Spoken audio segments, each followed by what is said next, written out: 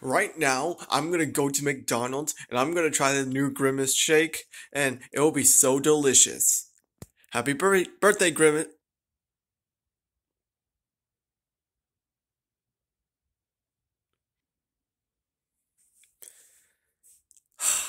Mario, I can't believe he died from a Grimace shake.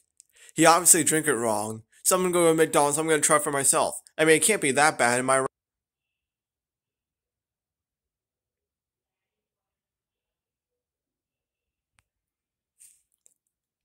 Idiots.